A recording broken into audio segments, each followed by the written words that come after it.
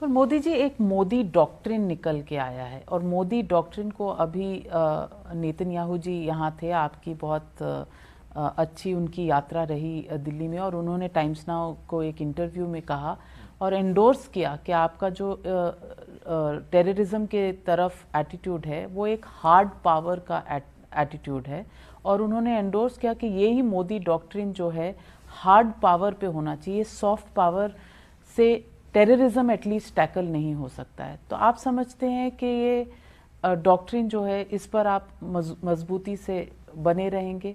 मैं प्रधानमंत्री नित्यानाहू का बहुत ही आभारी हूँ कि उन्होंने भारत की भी जमकर के तारीफ़ की है, भारत सरकार की जमकर के तारीफ़ की है। व्यक्तिगत मेरे लिए भी अच्छे शब्द बोले हैं, मैं इसलिए उनका बहुत आभारी हूँ। आतंकवाद ये सोकॉल टर्मिनोलॉजी में जैसे शब्द आपने प्रयोग किए कि हार्ड पावर डिकना पावर वगैरह एक्चुअली ये मानवता का मुद्दा है। मानवता पर बड़ा संकट है। मानवता की रक्षा के लिए मानवतावादी शक्तियों का एक होना बहुत ज़रूरी है। और मैं इसे मानवता को बचाने की लड़ाई मानता हूँ। और इससे बड़ा सॉफ्ट पावर कोई नहीं हो सकता है। मानवता की चिंता करना यही तो सबसे बड़ा सॉफ्ट पावर है। और इसलिए मेरी कोशिश मानवतावादी शक्तियों को जोड़ना, मानवतावादी विचारों को बल देना उस पर है। तब जाकर के आप आतंकवाद को आइसोलेट करके आतंकवाद के खिलाफ लड़ाई लड़ पाओगे। तभी लोग परहैप्स कह रहे हैं, आपने भी एक अब इंटरलोक्यूटर भी असाइन किया है जम्मू कश्मीर के लिए। तो इसी दायरे में अगर आप उसको एड्रेस करना चाहें, आतंकवाद को, मानवता के दायरे में तो अब डायलॉग शुरू करना चाहिए not just across the border with Pakistan but also internally Bharat के किसी भी नागरिक के साथ डायलॉग होता ही है, होता ही रहेगा और होता ही रहेगा। भारत के संविधान ने हमको एक काम दिया हुआ है। इसके लिए कोई नया प्रयोग नहीं होता है। वो तो चलता ही है। और मैंने तो लाल किले पर से कहा हुआ है सारी बातें। उसमें कोई दुविधा नहीं है। भारत के नागरिक का तो मोदी को, अरे मोदी जी खड़े रहो, मुझे बात करनी उसको हक है जी। हिंदुस्तान के संविधान को मानने वाले, हिंदुस्तान के लिए जीने मरने वाले के लिए तो हम है।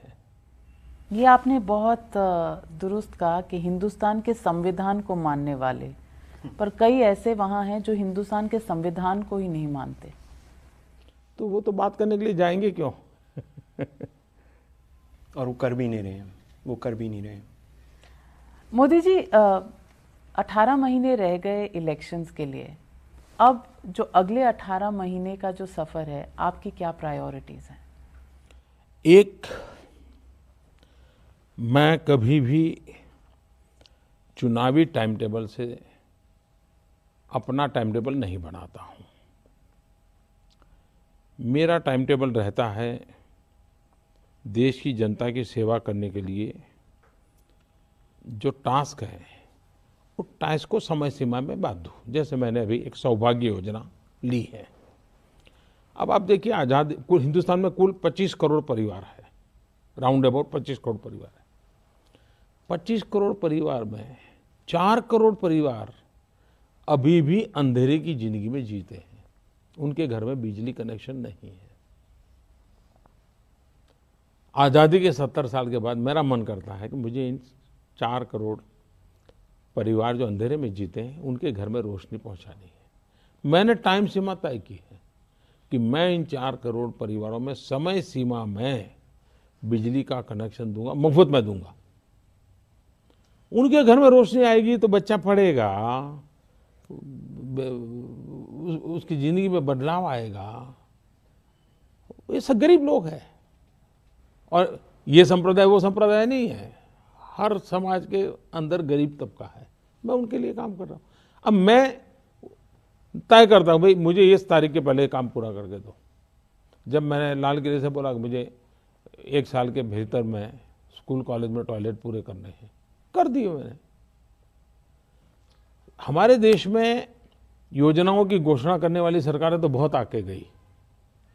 कोई ऐसा विषय नहीं है मानव जात का कि जिस पर पुरानी सरकारों ने यूँ उंगली न अड़ाई हो। ऐसे छू करके भाग जाना, छू करके भाग जाना। खाता में डाल देना कि हाँ हमने ये योजना चालू कर दी। लेकिन फिर उसको पूछना ही नहीं। मेरा वो काम नहीं है जी।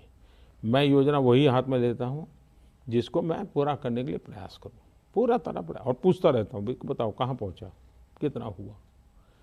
इससे जितना देश की सेवा कर पाता हूँ करता हूँ जी। बाकी हवाबाजी करनी है तो तो सब लोग करके ही गए हैं।